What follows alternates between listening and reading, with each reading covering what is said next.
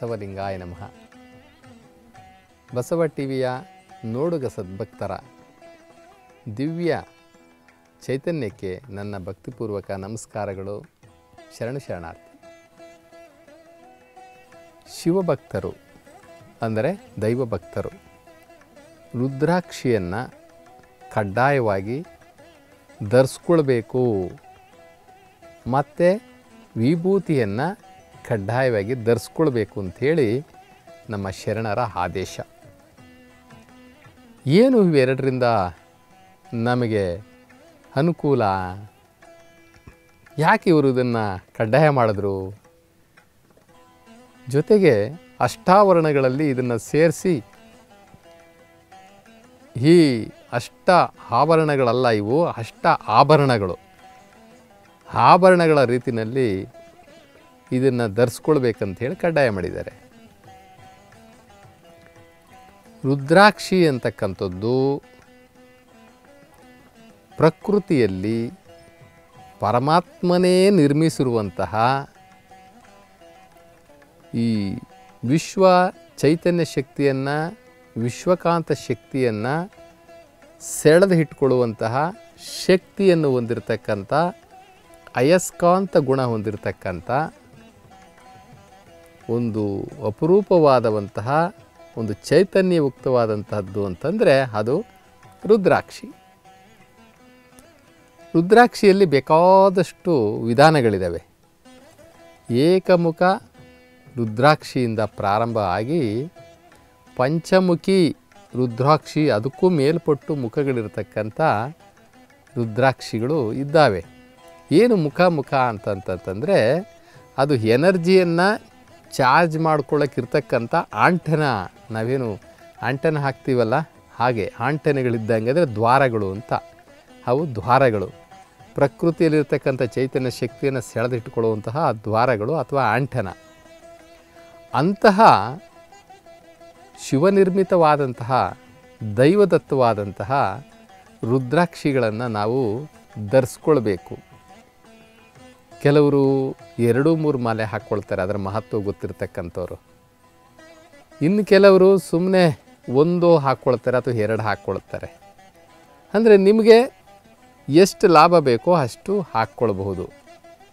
ನಮ್ಮ ಶರೀರಕ್ಕೆ, ನಮ್ಮ ಆತ್ಮಕ್ಕೆ, ಅಂದರೆ ನಮ್ಮ ಪ್ರಾಣಕ್ಕೆ ನಿರಂತರವಾಗಿ ಚೈತನ್ಯ ಶಕ್ತಿಯನ್ನು ಒದಗಿಸುವಂತಹ, ಚೈತನ್ಯಪೂರ್ಣವಾದಂತಹ ಒಂದು ದೈವ ಸಂಕಲ್ಪಿತವಾದಂತಹದ್ದು ಅಂತಂದರೆ ರುದ್ರಾಕ್ಷಿ. ಅದನ್ನು ನಾವು ಧಾರಣೆ ಮಾಡಿಕೊಳ್ಬೇಕು. ಆದರೆ ಒಂದು ಕಂಡೀಷನ್ನು ನಮ್ಮ ಶರಣ್ ಹೇಳ್ತಾರೆ, ನೀವು ಧರಿಸ್ಕೊಳ್ಳಿ, ನಿಮ್ಗೆ ಒಳ್ಳೆಯದಾಗುತ್ತೆ ಆದರೆ ಒಂದು ಕಂಡೀಷನ್ ಅಂತಾರೆ, ಏನಪ್ಪ ಅಂತಂತಂದರೆ, ರುದ್ರಾಕ್ಷಿ ಧರಿಸಿದ ಕೊರಳಿಗೆ, ರುದ್ರಾಕ್ಷಿ ಧರಿಸಿದ ಕೊರಳಿಗೆ ಅನ್ಯ ಮಣಿ ಮಾಲೆ ಧರಿಸಬಾರದು ಅನ್ನುವಂಥ ಒಂದು ಕಂಡೀಷನ್ ಶರಣರದು. ನೀವು ಹಾಕ್ಕೊಳ್ಳಿ, ನಿಮ್ಗೆ ಒಳ್ಳೆಯದಾಗುತ್ತೆ ನಿಮ್ಗೆ ಎನರ್ಜಿ ನಿರಂತರವಾಗಿ ಚಾರ್ಜ್ ಆಗುತ್ತೆ. ಪ್ರಕೃತಿಯಲ್ಲಿರ್ತಕ್ಕಂಥ ಎನರ್ಜಿ ಶರೀರಕ್ಕೆ ಚಾರ್ಜ್ ಆಗುತ್ತೆ. ವಿತ್ ನಾವೇನು ಮಾಡ್ತೀವಿ? ಈಗ ಸಾಮಾನ್ಯವಾಗಿ ಯಾವುದಾದ್ರೂ ಒಂದು ಪ್ರಾಡಕ್ಟನ್ನು ನಾವು ಮಾರ್ಕೆಟಿಂಗ್ ಬಿಡುವಾಗ ಕಂಡೀಷನ್ ಆಗಿಬಿಡ್ತೀವಿ. ಕಂಡೀಷನ್ ಹಾಕಿಬಿಡ್ಬಿಡು ಷರತ್ತುಗಳು ಅನ್ವಯಿಸುತ್ತವೆ ಅಂತಾರೆ ನೋಡ್ರಿ. ಯಾವುದೋ ಒಂದು ಡಿಸ್ಕೌಂಟಲ್ಲಿ ನಾವು ಒಂದು ವಸ್ತು ಕೊಡ್ತೀವಿ ಅಥವಾ ಇಂತಹ ಒಂದು ಪ್ರಾಡಕ್ಟನ್ನು ನಾವು ನಿಮಗೆ ತಲುಪಿಸ್ತೀವಿ, ಮಾರಾಟ ಮಾಡ್ತೀವಿ. ಆದರೆ ಷರತ್ತುಗಳು ಅನ್ವಯಿಸುತ್ತೆ ಅಂತ ಹೇಳ್ಬಿಟ್ಟು ಲಾಸ್ಟಲ್ಲಿ ಹೇಳ್ತಾರೆ. ಹಾಗೆ ರುದ್ರಾಕ್ಷಿ ಅಂತಕ್ಕಂಥ ಪ್ರಕೃತಿ ದತ್ತವಾದಂತಹ ದೈವದತ್ತವಾದಂತಹ ಈ ಈ ಈ ಪ್ರಾಡಕ್ಟನ್ನು ನಾವು ಧರಿಸ್ಕೊಳ್ಬೇಕಾದ್ರೆ ಅದಕ್ಕೂ ಕೂಡ ಷರತ್ತುಗಳನ್ನು ಒಳಪಡಿಸಿದ್ದಾರೆ ಪರಮಾತ್ಮ. ಶರಣರು ಷರತ್ತುಗಳಿಗೆ ಒಳಪಡಿಸಿದ್ದಾರೆ. ಏನಪ್ಪ ಷರತ್ತುಗಳು ಅಂದರೆ? ರುದ್ರಾಕ್ಷಿಯನ್ನು ಧರಿಸಿರುವಂತಹ ಕೊರಳಿಗೆ ಹನ್ಯ, ಮಣಿ, ಮಾಲೆ, ಸರಗಳನ್ನು ಧರಿಸಕೂಡದ್ದು. ಅದನ್ನು ಧರಿಸ್ಕೊಂಡು ಇದನ್ನು ಧರಿಸ್ತೀವಿ ಅಂತಂದರೆ ಸಾಧ್ಯ ಇಲ್ಲ, ಅದು ಆಗೋದಿಲ್ಲ. ನೋ ಕಾಂಪ್ರಮೈಸ್ ಧರಿಸ್ಕೊಂಡ್ರೆ ಬರೀ ರುದ್ರಾಕ್ಷಿ ಮಾತ್ರ ಮಾಲೆಯನ್ನು ಧರಿಸ್ಕೊಳ್ಬೇಕು. ಅದಕ್ಕೆ ಒಂದು ವಚನದಲ್ಲಿ ಹೇಳ್ತಾರೆ ಬಸವಣ್ಣನವರು, ಅಂಗದ ಮೇಲೆ ಲಿಂಗ ಸಾಹಿತ್ಯವಾದ ಬಳಿಕ, ಈಗ ಸಾಮಾನ್ಯವಾಗಿ ಶಿವಭಕ್ತರು, ಪರಮಾತ್ಮನ, ಪರಮಾತ್ಮನೇ ನಂಬ್ಕೊಂಡಿರ್ತಕ್ಕಂಥವ್ರು, ಏಕದೇವೋಪಾಸಕರು. ಆ ಏಕ, ಏಕದೇವೋಪಾಸಕರು ಏನು ಮಾಡ್ತಾರೆ? ಅಂಗದ ಮೇಲೆ ಲಿಂಗ ಸಾಹಿತ್ಯವಾದ ಬಳಿಕ ಭಕ್ತನಾಗಲಿ, ಜಂಗಮನಾಗಲಿ, ತನ್ನ ಅಂಗದ ಮೇಲೆ ಹನ್ಯ, ಮಣಿ, ಮಾಲೆ ನಂದಿ ಹುಂಗರ, ನಾಗಮಂಡಲ ಮೊದಲಾದದ, ಮೊದಲಾದ ಮುದ್ರೆಗಳನ್ನು ಧರಿಸಬಾರದು ಅಂತ ಹೇಳ್ತಾರೆ. ಧರಿಸಬಾರದು. ಯಾಕಪ್ಪ ಅಂತಂತಂದರೆ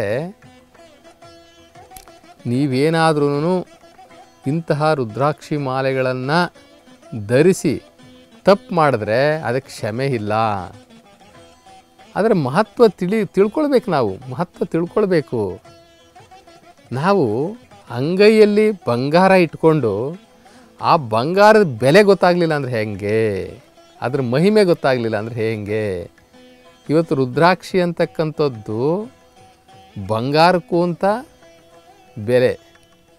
ಯಾಕೆ ಅಂತಂದರೆ ನಮ್ಮ ಪ್ರಾಣಕ್ಕೆ ಪ್ರಾಣ ಶೈ, ಚೈತನ್ಯ ಶಕ್ತಿಯನ್ನು ಕೊಡುವಂತಹ ಶಕ್ತಿ ಅದರಲ್ಲಿದೆ. ಬಂಗಾರಕ್ಕಿದೆಯಾ? ಇಲ್ಲ. ಬಂಗಾರಕ್ಕಿಲ್ಲ. ಆ ಬಂಗಾರಕ್ಕೂ ಅಂತ ಹೆಚ್ಚು ಬೆಲೆ ಬಾಳ್ತಕ್ಕಂಥದ್ದು ರುದ್ರಾಕ್ಷಿ ಅಂತ ಹೇಳಿಬಿಟ್ಟು ನಮ್ಮ ಶರಣರು ಅಭಿಮತ ಮಾಡ್ತಾ ಇದ್ದಾರೆ. ಇಲ್ಲಿ ಅದರ ಮಹಿಮೆ ಹೆಂಗೈತಪ್ಪ ಅಂತಂದರೆ ಭೂತೇಶನೆಂಬ ಲಿಂಗವನ್ನು ಅರ್ಚಿಸಿ, ಪ್ರಸಾದವ ಕೊಂಡೆನೆಂಬ ದ್ರೋಹಿಗಳ ಕುಂಬಿ ಪಾತಕದಲ್ಲಿ ಇಡುವ, ಅವರಿಗೆ ನಾಯಕ ನರಕವದಲ್ಲಿ ಇಡುವ ಅಂತ ಕೇಳ್ತಾರೆ. ಒಂದು ಅದ್ಭುತವಾದಂತಹ ಶಕ್ತಿಯನ್ನು ನಾವು ಕೈನಲ್ಲಿ ಇಟ್ಕೊಂಡು ಅದರ ಮಹಿಮೆಯನ್ನು ತಿಳಿದಲೇ ಅನ್ಯ ದೈವಗಳು ಅನ್ಯ ದೈವಗಳು ಅಂದರೆ ಇಲ್ಲೇನು ಹೇಳ್ತಾರೆ? ಭೂತೇಶ ಅಂತ ಹೇಳ್ತಾರೆ. ನಮ್ಮಲ್ಲಿ ಭೂತನ ಆರಾಧನೆಯೂ ಕೂಡ ಇದೆ ನಮ್ಮಲ್ಲಿ ಇವತ್ತು. ದೇವ್ರ ಆರಾಧನೆ ಇರಲಿ. ಎಷ್ಟೋ ಜನಕ್ಕೆ ದೇವರಂದರೆ ಯಾರಂತಲೇ ಗೊತ್ತಿಲ್ಲ. ಸಿಕ್ಕ ಸಿಕ್ಕಿದ್ದಲ್ಲ ದೇವರು ಅಂತ ತಿಳ್ಕೊಂಡು ಅವರ ಭಕ್ತಿಯನ್ನು, ಅವರ ಜೀವನವನ್ನು, ಅವರ ಶ್ರಮವನ್ನು, ಅವರ ಪೂಜೆಯನ್ನು ಎಲ್ಲವನ್ನು ಕಳ್ಕೊಳ್ತಾ ಇರ್ತಕ್ಕಂಥದ್ದು ಒಂದು ಕಡೆ ಆದರೆ ಈ ಭೂತಗಳನ್ನೇ ಭೂತಾರಾಧನೆಯೇ ದೇವ್ರುಗಳನ್ನ ತಿಳ್ಕೊಂಡಿರ್ತಕ್ಕಂಥದ್ದು ಇನ್ನೊಂದು ಸಮುದಾಯ ಇದೆ, ನಮ್ಮ ಜೊತೆ ಬದುಕ್ತಾ ಇದೆ. ಸಾಮಾನ್ಯವಾಗಿ ಈ ಕರಾವಳಿ ಪ್ರದೇಶದಲ್ಲಿ ಭೂತಾರಾಧನೆಗಳಿದ್ದಾವೆ. ಇವನ್ನೆಲ್ಲ ಶರಣರು ಗಮನಿಸಿದ್ದಾರೆ. ಪ್ರತಿಯೊಂದೂ ಕೂಡ ಸಮಾಜದ ಕಟ್ಟ ಕಡೆಯಲ್ಲಿ ಏನು ನಡೀತಾ ಐತೆ? ಏನೇನು ಅನಾಚಾರಗಳು, ಏನೇನು ಮೂಢನಂಬಿಕೆಗಳು, ಏನೇನು ಅಜ್ಞಾನದ ಆಚರಣೆಗಳು ನಡೀತಾ ಇದ್ದಾವೆ ಅನ್ನೋದನ್ನು ಶರಣರು ಒಂದು ರೀತಿ ಟಾರ್ಚ್ ಹಾಕೊಂಡು ಹುಡುಕ್ತಾರಲ್ಲ, ಹಂಗೆ ಹುಡುಕಿದ್ದಾರೆ ನೋಡ್ರಿ.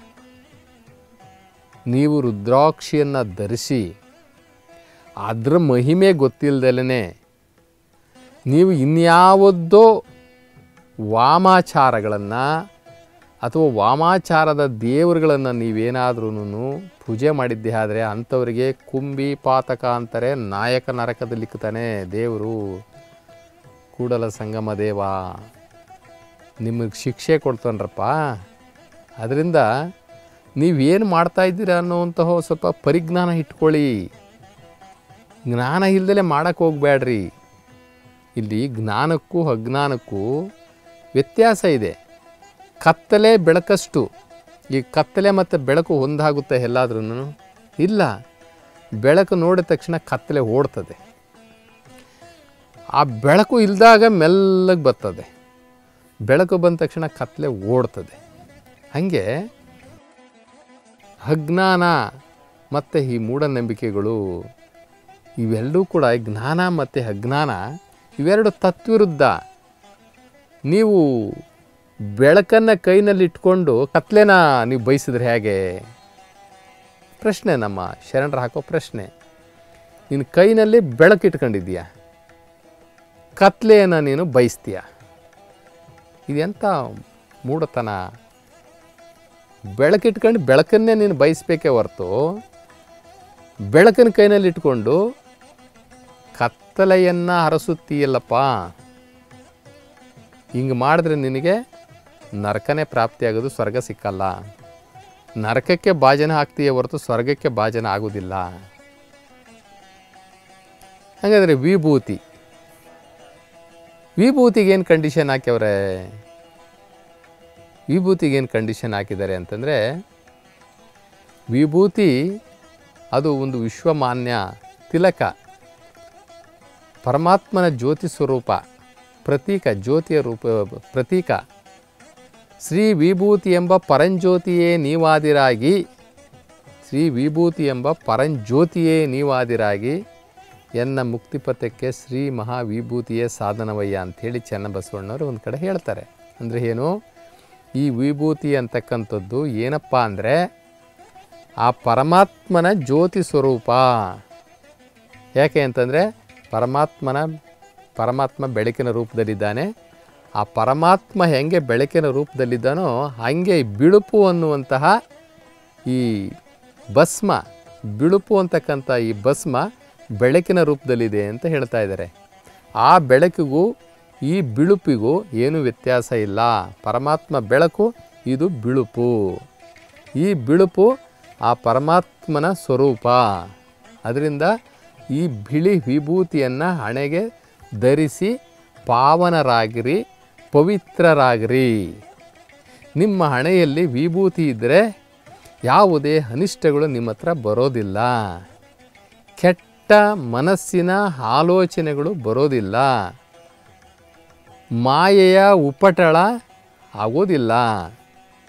ಮಾಯೆಯನ್ನು ಬಹಳ ಸುಲಭವಾಗಿ ಗೆಲ್ಲಬಹುದು. ಮಾಯೆ ನಮಗೆ ಕಾಟವನ್ನು ಕೊಡೋದಿಲ್ಲ. ಆನೆಗೆ ಒಂದು ಅಂಕುಶ ಇಟ್ಟಂತೆ. ಇದು ಮಾಯೆ ಅಂತಕ್ಕಂಥದ್ದು ನಮ್ಮನ್ನು ಬಾಧಿಸುವ ಒಂದು ದೊಡ್ಡ ಆನೆ. ಆನೆ ಕಟ್ಟಾಕ್ದಂಗೆ ಮನಸ್ಸನ್ನು ನಿಗ್ರಹಿಸೋದು ಈ ಮಾಯೆಯನ್ನು ಗೆಲ್ಲೋದಿದೆಯಲ್ಲ, ಆನೆನ ಮೇಂಟೈನ್ ಮಾಡೋದಷ್ಟು ಕಷ್ಟ. ಆದರೆ ಅಂಥ ಆನೆಗೆ ಒಂದು ಸಣ್ಣ ಅಂಕುಶವ ಮುಖಾಂತರ ಕಬ್ಬಿಣದ ಸಲಾಕೆ ಕಬ್ಬಿಣದ ಸಲಾಕೆ ಆ ಈ ರೀತಿ ಇರತಕ್ಕಂಥ ಒಂದು ಕಬ್ಬಿಣದ ಸಲಾಖೆ ಮುಖಾಂತರ ಅದರ ತಲೆಯ ಮೇಲೆ ಚುಚ್ಚಿ ಚುಚ್ಚಿ ಚುಚ್ಚಿ ಅದು ನಮ್ಮ ಮಾತು ಕೇಳಂಗೆ ಇಟ್ಕೊಳ್ತೀವಲ್ಲ, ತಲೆಯ ಮೇಲೆ. ಅಂದರೆ ಅದರ ನೊಸಲಿನಿಂದ ಸ್ವಲ್ಪ ಮೇಲಕ್ಕೆ, ಅದರ ನೊಸಲು, ಹಣೆ, ಹಣೆಯಿಂದ ಸ್ವಲ್ಪ ಮೇಲಕ್ಕೆ ಅಲ್ಲೊಂದು ಸಣ್ಣ ರಂಧ್ರ ಇರ್ತದೆ.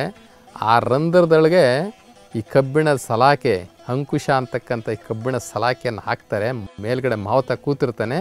ಅದೇನಾದ್ರು ತಪ್ಪು ಮಾಡಿದ್ರೆ ಆಗ ಚುಚ್ತಾನೆ. ಮೇಲಿಂದ ಕೂತ್ಕೊಂಡು ಚುಚ್ತಾನೆ. ಅದು ತನ್ನ ನಿಯಂತ್ರಣಕ್ಕೆ ಬರೋವರೆಗೂ ಬಿಡೋದಿಲ್ಲ. ಹಾಗೆ ಈ ವಿಭೂತಿ ಅಂತಕ್ಕಂಥ ಅಂಕುಶ, ಈ ವಿಭೂತಿ ಅಂತಕ್ಕಂಥ ಅಂಕುಶ, ಈ ಮಾಯೆ ಅಂತಕ್ಕಂಥ ಈ ಆನೆಯನ್ನು ನಮಗೆ ತಡಿಲಿಕ್ಕೆ ವಿಭೂತಿ ಸಹಾಯ ಮಾಡುತ್ತೆ ಅಂಥೇಳಿ ನಮ್ಮ ಶರಣರು ಹೇಳ್ತಾರೆ. ಆದರೆ ವಿಭೂತಿ ಧರಿಸುವವರಿಗೆ ಒಂದು ಕಂಡೀಷನ್ ಹೇಳ್ತಾರೆ. ಅದೇ ಸೇಮ್ ಷರತ್ತುಗಳು ಅನ್ವಯಿಸುತ್ತವೆ.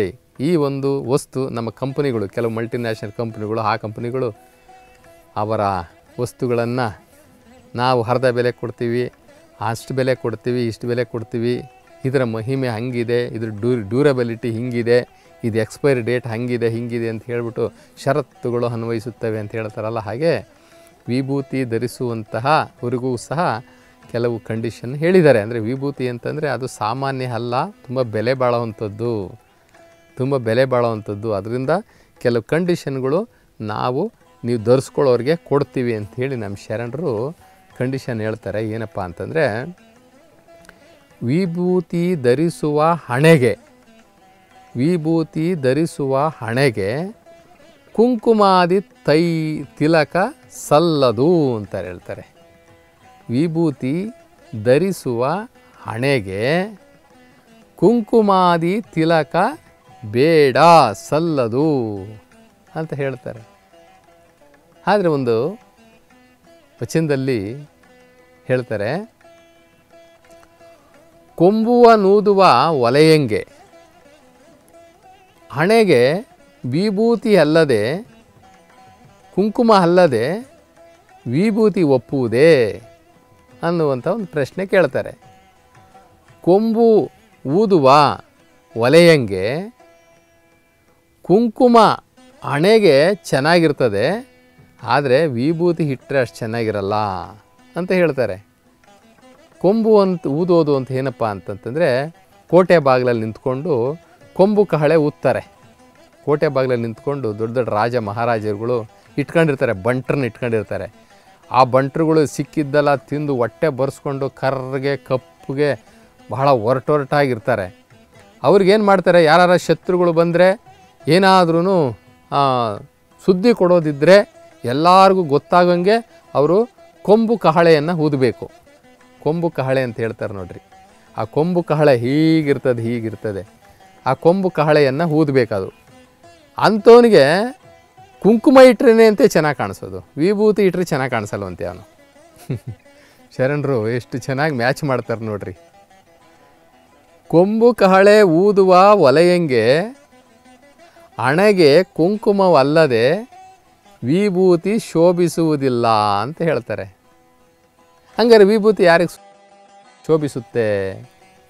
ಯಾರಿಗೆ ಶೋಭಿಸುತ್ತೆ ಅಂತಂದರೆ ಲಿಂಗ ಲಾಂಛನವ ತೊಟ್ಟು ಲಿಂಗ ಲಾಂಛನವ ತೊಟ್ಟು ಅಂದರೆ ಲಿಂಗಧಾರಿಗಳಾಗಿ ಗುರು ಉಪದೇಶವ ಕೇಳಿ ಲಿಂಗ ಲಾಂಛನವನ್ನು ತೊಟ್ಟು ಅಂದರೆ ಲಿಂಗವನ್ನು ತೊಟ್ಕೊಂಡು, ಧರಿಸಿಕೊಂಡು ಗುರು ಉಪದೇಶವನ್ನು ಕೇಳಿ ನೊಸಲಲ್ಲಿ ವಿಭೂತಿ ಪಟ್ಟವ ಕಟ್ಟಿದ ಬಳಿಕ, ಅಂದರೆ ನೊಸಲಿಗೆ ವಿಭೂತಿಯನ್ನು ಇಟ್ಟುಕೊಂಡ ಬಳಿಕ ಮರಳಿ ಏನಾದರೂ ಮತ್ತೆ ಹಪ್ಪಿ ತಪ್ಪಿ ಅವನೇನಾದ್ರೂ ಕುಂಕುಮಾದಿಗಳ ತಿಲಕಗಳನ್ನು ಇಟ್ಟುಕೊಂಡಿದ್ದೆ ಆದರೆ ಅವನು ಗುರು ವಿರೋಧಿ ಧರ್ಮ ವಿರೋಧಿ ದೈವ ವಿರೋಧಿ ಅವನನ್ನು ನಾನು ಒಲೆಯ ಅಂತ ಹೇಳ್ತೀನಿ ಅಂತ ಹೇಳ್ತಾರೆ.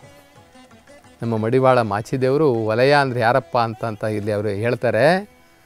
ಯಾರು ವಿಭೂತಿಯನ್ನು ಧರಿಸಿ, ಮತ್ತೆ ಅಂತಹ ವಿಭೂತಿ ಧರಿಸಿದಂಥ ಹಣೆಗೆ ಕುಂಕುಮಾದಿಗಳನ್ನು ಇನ್ನೇನೋ ಇನ್ನೇನೋ ಇಟ್ಕೊಳ್ತಾರೆ ನೋಡ್ರಿ. ಈಗ ಕಪ್ಪುಗಿರತಕ್ಕಂಥ ಬೊಟ್ಟಿಟ್ಕೊಳ್ತಾರೆ ಕೆಲವರು ಈ ನೀಲಿ ಕಲರ್ದು ಒಂದಷ್ಟು ಇಟ್ಕೊಳ್ತಾರೆ, ಮತ್ತು ಕೆಲವರು ಹರ್ಷಣ ಕಲರ್ದು ಒಂದಷ್ಟು ಇಟ್ಕೊಳ್ತಾರೆ ಏನೇನೋ ಇಟ್ಕೊಳ್ತಾರೆ, ಮೂರು ನಾಲ್ಕು ಇಟ್ಕೊಳ್ತಾರೆ. ಬೊಟ್ಟುಗಳು, ಅದು ಇದು, ಭಂಡಾರ ಅಂತ ಹೇಳ್ಕೊಂಡು, ಆ ದೇವ್ರ ಭಂಡಾರ, ಈ ದೇವ್ರ ಭಂಡಾರ ಅಂತ ಹೇಳ್ಕೊಂಡು ಇಟ್ಕೊಳ್ತಾರೆ ಮೂರು ನಾಲ್ಕು ಇಟ್ಕೊಳ್ತಾರೆ.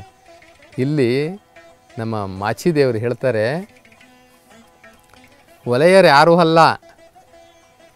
ವಲಯ ಅಂತಕ್ಕಂಥವ್ನು ಬೇರೆ ಯಾರೂ ಅಲ್ಲ. ವಲಯ ಅಂತಂತಂದರೆ ಬೇರೆ ಅದನ್ನು ನಾವು ಬೇರೆದು ಹೋಲಿಸ್ಬಾರ್ದು.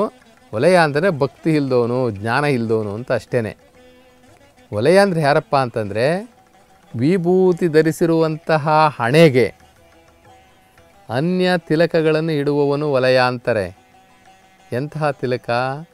ಅದು ಇದು ಬೊಟ್ಟು, ಕುಂಕುಮಾದಿಗಳು, ಕಪ್ಪು, ಕಪ್ಪುಗಿರ್ತಕ್ಕಂಥದ್ದು ಯಾವನು ಕೂಡ ಧರಿಸಬಾರ್ದು. ವಿಭೂತಿಗೆ, ವಿಭೂತಿ ಧರಿಸುವವ ಹಣೆಗೆ ಭಂಡಾರ ಶೋಭೆಯಲ್ಲ. ಯಾವ ಭಂಡಾರನೂ ಕೂಡ ಶೋಭಿಸೋದಿಲ್ಲ. ಅಂತಹ ಪವಿತ್ರವಾದಂತಹ ವಿಭೂತಿಯನ್ನು ಪರಂಜ್ಯೋತಿ ಸ್ವರೂಪವಾಗಿರ್ತಕ್ಕಂಥ, ಪರಮಾತ್ಮನ ಸ್ವರೂಪ ಆಗಿರ್ತಕ್ಕಂಥ ವಿಭೂತಿಯನ್ನು ಹಣೆಗೆ ಧರಿಸ್ಕೊಂಡು ದಡ್ರು ಏನು ಮಾಡ್ತೀರಪ್ಪ ನೀವು ಅಂತಂದರೆ ಆ ವಿಭೂತಿ ಧರಿಸಿರ್ತಕ್ಕಂಥ ಹಣೆಗೆ ಆ ದೇವ್ರದ್ದು ಈ ದೇವ್ರದ್ದು ಅಂತ ಭಂಡಾರ ಅಂತ ಧರಿಸ್ಕೊಳ್ತಿರಲ್ಲ, ಅದು ಸರಿ ಅಲ್ಲ ಅವರನ್ನು ನಮ್ಮ ಶರಣರು ಒಪ್ಪೋದಿಲ್ಲ. ಅವರಿಗೆ ಅಜ್ಞಾನಿಗಳು ಅಂತ ಕರೀತಾರೆ ಅನ್ನುವಂತಹ ಮಾತನ್ನು ನಮ್ಮ ಮಡಿವಾಳ ಮಾಚಿದೇವರು ಹೇಳ್ತಾರೆ. ಅಂದರೆ ಇದರ ಅರ್ಥ ಬಸಿತದ ಧರಿಸಿದ ಮೇಲೆ ಅನ್ಯ ದೇವರ ಭಂಡಾರವನ್ನು ಇಡುವ ಅನಾಮಿಕ ವಲಯರು ಶಿವಭಕ್ತರಂತಾಗುವರು ಅಂತ ಒಂದು ಕಡೆ ಕೇಳ್ತಾರೆ. ಅವ್ರಿಗೆ ವಿಭೂತಿ ಮಹಿಮೆ ಗೊತ್ತಿಲ್ಲ, ಶಿವನ ಮಹಿಮೆ ಗೊತ್ತಿಲ್ಲ. ಅದರ ಅರ್ಥನೇ ಗೊತ್ತಿಲ್ಲ. ಅಂಥವರು ಹಣೆಗೆ ವಿಭೂತಿಯನ್ನು ಧರಿಸಿ ದೇವರು ಹೆಸರಿನಲ್ಲಿ ಭಂಡಾರಗಳನ್ನು ಇಡುವಂತಹ ಅಂಥವರು ಇವರಿಗೆ ಅನಾಮಿಕ ಹೊಲೆಯರು ಅಂತ ಕರೀತಾರೆ. ಅನಾಮಿಕ ಹೊಲೆಯರು ಅಂತ ಕರೀತಾರೆ. ಇವರನ್ನು ನಾವು ಶಿವಭಕ್ತರು ಅಂತ ಹೇಳೋದಕ್ಕೆ ಸಾಧ್ಯನೇ ಇಲ್ಲ. ಕರೆಯಲಾಗದು. ಕರೆದವರಿಗೆ ಮಹಾದೋಷ ಅಂತ ಕರೀತಾರೆ. ಅವ್ರನ್ನೇನಾರ ಭಕ್ತರು ಅಂತ ಕರೆದುಬಿಟ್ರೆ ಕರೆದವ್ರಿಗೆ ದೋಷ ಬಂದ್ಬಿಡ್ತದೆ. ಅವಂದಿರಲಿ ನೀ ಏನಾರ ಅವನ್ನ ಭಕ್ತ ಅಂತ ನೀನು ಸ್ವೀಕಾರ ಮಾಡಿದ್ದೆ ಆದರೆ ಆತನವನ್ನ ಭಕ್ತ ಅಂತ ನೀನು ಕನ್ಸಿಡರ್ ಮಾಡಿದ್ದೆ ಆದರೆ ನಿನಗೆ ಬಂದ್ಬಿಡ್ತದೆ ದೋಷ ಅಂತಾರೆ.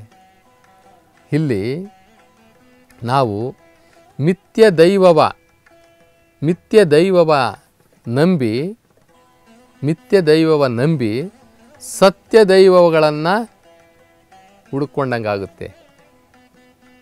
ನಾವು ಈ ಮಿಥ್ಯ ದೈವಗಳಿದಾವಲ್ಲ, ಆ ಮಿಥ್ಯ ದೈವಗಳನ್ನು ನಾವು ನಂಬ್ಕೊಂಡ್ಬಿಟ್ಟು ಸತ್ಯ ದೈವಗಳನ್ನು ದೂರ ಮಾಡ್ಕೊಂಡಂಗೆ ಆಗ್ಬಿಡ್ತದೆ ಇಲ್ಲಿ ಸತ್ಯ ದೈವ ಅಂದರೆ ಯಾವುದು?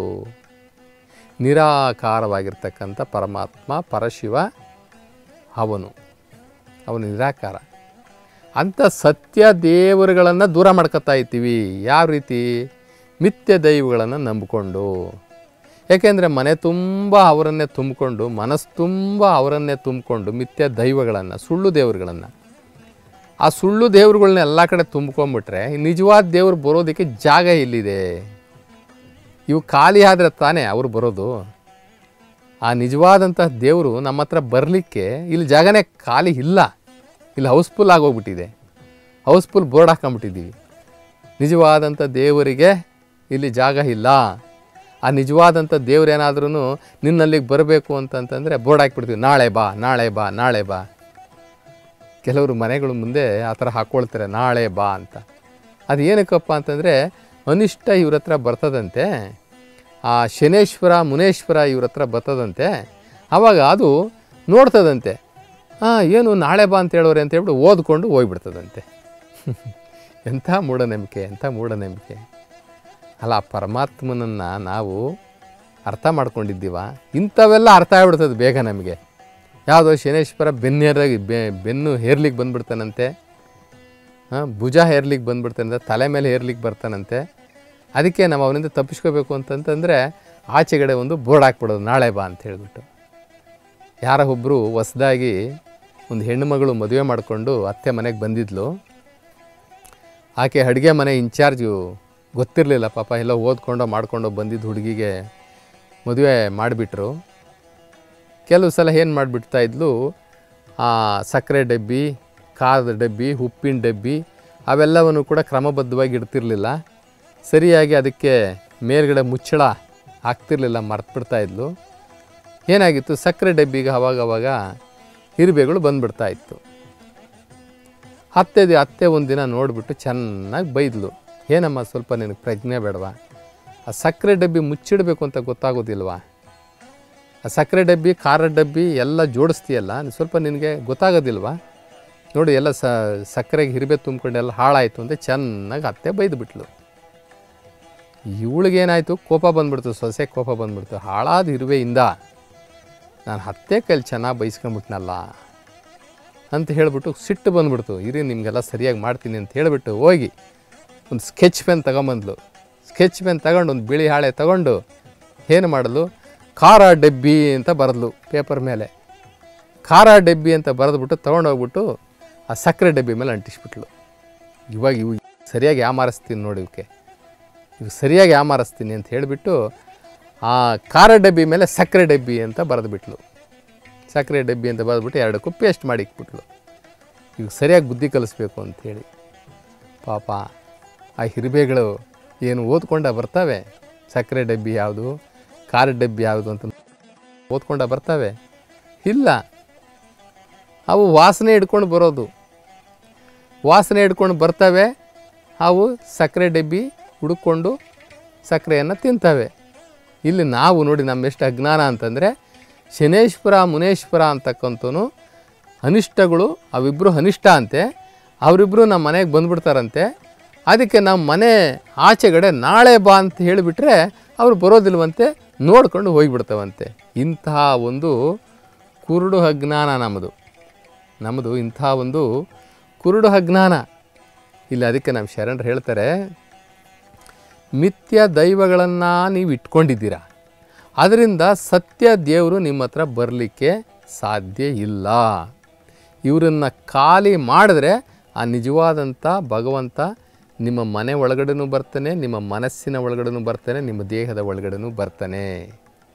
ಇಲ್ಲಿ ವಿಭೂತಿಯ ವಿಚಾರದಲ್ಲಿ ವಿಭೂತಿಯನ್ನು ಧರಿಸಿ ಶಿವಪಥ ಸಾಧಿಸಲು ಅರಿಯದೆ ಈ ವಿಭೂತಿಯನ್ನು ಧರಿಸ್ಕೊಂಡು ಯಾವ ರೀತಿ ಶಿವನ ದಾರಿಯಲ್ಲಿ ನಡಿಬೇಕು, ಆಧ್ಯಾತ್ಮಿಕ ದಾರಿಯಲ್ಲಿ ನಡಿಬೇಕು, ಜ್ಞಾನದ ಮಾರ್ಗದಲ್ಲಿ ನಡಿಬೇಕು, ಇಲ್ಲಿ ಜ್ಞಾನದ ಮಾರ್ಗ ಅಂತ ಅಂದಾಗ ನಮಗೆ ಶಿವಪಥ ಹರಿಯಲು ಗುರುಪಥ ಮೊದಲು ಅಂತ ಹೇಳ್ತಾರೆ. ಅಂದರೆ ಗುರು ಕೊಟ್ಟಿರ್ತಕ್ಕಂಥ ಆಜ್ಞೆಗಳೇನು, ಆದರ್ಶಗಳೇನು, ನಿಬಂಧನೆಗಳೇನು, ಷರತ್ತುಗಳೇನು ಈ ಷರತ್ತುಗಳನ್ನ ನಾವು ತಿಳ್ಕೊಳ್ಬೇಕು. ಏನು ಷರತ್ತುಗಳು ಇವಾಗ ಹೇಳಿದ್ವಲ್ಲ, ರುದ್ರಾಕ್ಷಿ ಧರಿಸಿರ್ತಕ್ಕಂಥ ಕೊರಳಿಗೆ ಅನ್ಯ ಮಾಲೆಗಳನ್ನು ಧರಿಸಬಾರದು ಅನ್ನೋವಂಥದ್ದು ಒಂದು ಷರತ್ತು ವಿಭೂತಿಯನ್ನು ಧರಿಸಿರ್ತಕ್ಕಂಥ ಹಣೆಗೆ ಯಾವುದೇ ಭಂಡಾರಗಳನ್ನು, ಯಾವುದೇ ಭಂಡಾರಗಳನ್ನಾಗಲಿ ಅಥವಾ ಅನ್ಯ ತಿಲಕಗಳನ್ನು ಕುಂಕುಮಗಳನ್ನು ಧರಿಸಬಾರ್ದು ಅಂತಕ್ಕಂಥದ್ದು ಈ ಷರತ್ತುಗಳು. ಇವೆಲ್ಲವನ್ನೂ ಕೂಡ ನಮಗೆ ಗುರು ಹೇಳಿಕೊಡ್ತಾನೆ. ಶಿವಪಥ ಹರಿಯಲು ಗುರುಪಥ ಮೊದಲು ನಮಗೆ. ಇಲ್ಲಿ ಅದನ್ನು ಹೇಳ್ತಾ ಇದ್ದಾರೆ, ಶಿವಪಥ ಸಾಧಿಸಲು ಹರಿಯದೆ. ಹೆಂಗೆ ಶಿವಪಥವನ್ನು ಸಾಧಿಸ್ಬೇಕು ನಾವು? ಪರಮಾತ್ಮನಿಗೆ ಪ್ರೀತಿಯಾಗಿ ಹತ್ತಿರವಾಗಿ ನಿಕಟ ಸಂಪರ್ಕವನ್ನು ಸಾಧಿಸೋದಕ್ಕೆ ನಾವು ಏನು ಮಾಡಬೇಕು?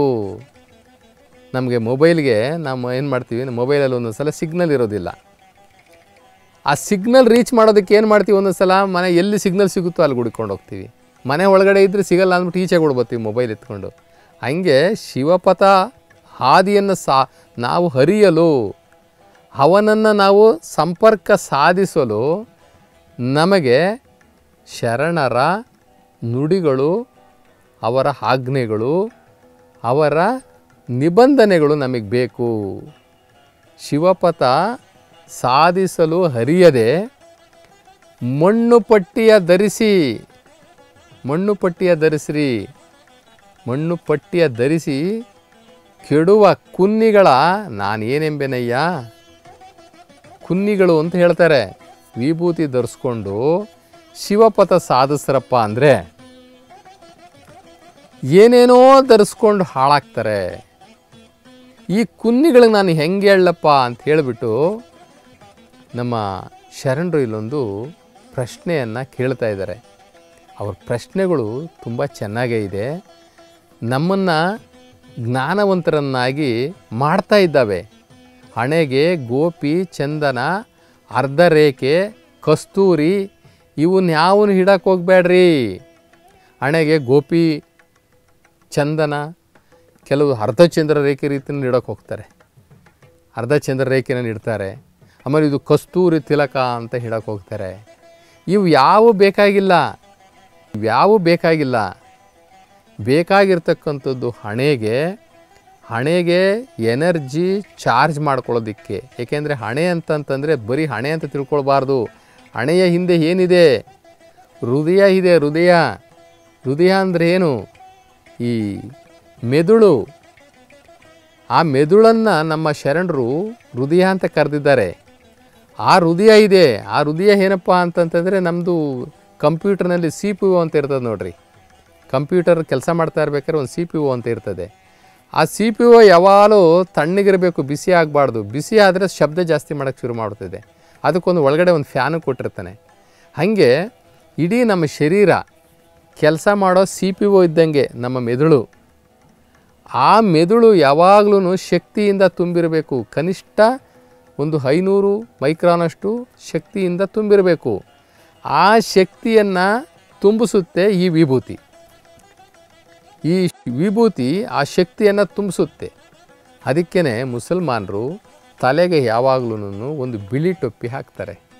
ಕಾರಣ ಆ ಬಿಳಿ ಅನ್ನುವಂತಹ ಆ ಅದಕ್ಕೆ ಒಂದು ಚೈತನ್ಯ ಶಕ್ತಿ ಇದೆ, ಒಂದು ದೈವತ್ವ ಇದೆ ಬಿಳಿ ಅನ್ನೋದಕ್ಕೆ. ನಾವು ಹಣೆಯ ಮೇಲೆ ಸದಾ ವಿಭೂತಿಯನ್ನು ಧಾರಣೆ ಮಾಡಿದ್ರೆ ನಮ್ಮ ಮೆದುಳಿಗೆ ಬೇಕಾಗಿರತಕ್ಕಂಥ ದೈವಿಕ ಶಕ್ತಿ, ಆ ದೈವಿಕ ಶಕ್ತಿಯನ್ನು ಅದು ಸದಾ ಒದಗಿಸುತ್ತದೆ. ಅದಕ್ಕೆ ನಾವು ವಿಶ್ವ ಚೈತನ್ಯ ಶಕ್ತಿ, ವಿಶ್ವಮಾನ್ಯ ಶಕ್ತಿ ಅಂತ ನಾವು ಕರಿತೀವಿ. ಅಂತಹ ಶಕ್ತಿಯನ್ನು ನಿರಂತರವಾಗಿ ಅದು ನಮಗೆ ಕೊಡ್ತದೆ. ನಾವು ಇಂತಹ ಒಂದು ಅದ್ಭುತವಾದಂತಹ ವೈಜ್ಞಾನಿಕವಾಗಿರ್ತಕ್ಕಂಥ ಇಂಥ ಸತ್ಯವನ್ನು ನಾವು ತಿಳ್ಕೊಳ್ದಲೇ ನಾವು ಏನೇನೋ ಧರಿಸ್ತೀವಿ.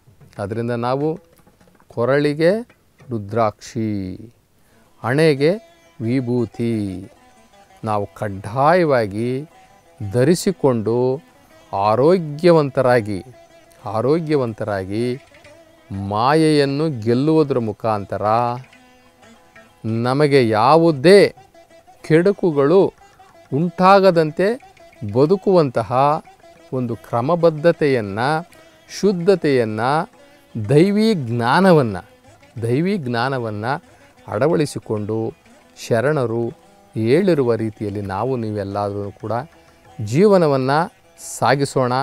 ಅಂತಹ ಜೀವನ ನಮ್ಮ ನಿಮ್ಮದೆಲ್ಲಾದ ಆಗಲಿ. ಬಸವಾದಿ ಶರಣರ ಕೃಪೆ ನಮ್ಮೆಲ್ಲರಿಗೂ ಆಗಲಿ ಅಂತ ಹೇಳಿ ನಾವು ಪ್ರಾರ್ಥಿಸಿಕೊಂಡು ಇಂದಿನ ಸಂಚಿಕೆಗೆ ವಿರಾಮವನ್ನು ಕೊಡೋಣ. ಶರಣು ಶರಣಾರ್ಥಿ.